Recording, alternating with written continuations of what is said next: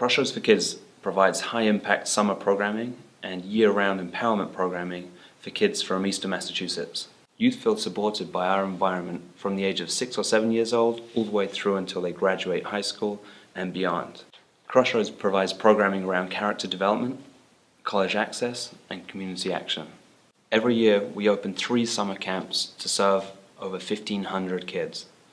It takes a lot of work and effort to open the camps, and we couldn't do it without the community around us. A huge part of that community is Harvard Pilgrim. Harvard Pilgrim helped us last year. They sent over 30 volunteers to work with us to help us close our huge Camp Wing site.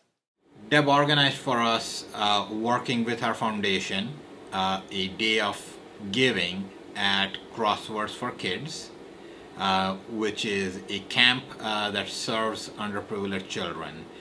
And um, it was a great event um, where we were able to go in and help the camp with a lot of fall cleanup, um, getting roofs cleared out of the pine needles, uh, in fact, I had fun doing that myself.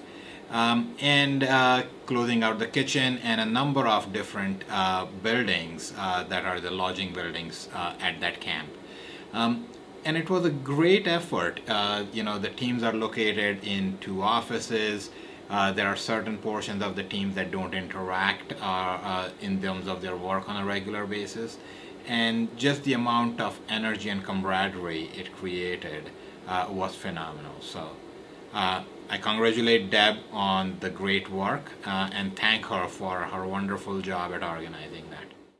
On behalf of Crossroads for Kids, over a thousand youth that we serve every summer, I would like to say a huge thank you to Deborah Lambert and all of Harvard Pilgrim for all of their work, support, and vision that they have helped provide Crossroads for Kids.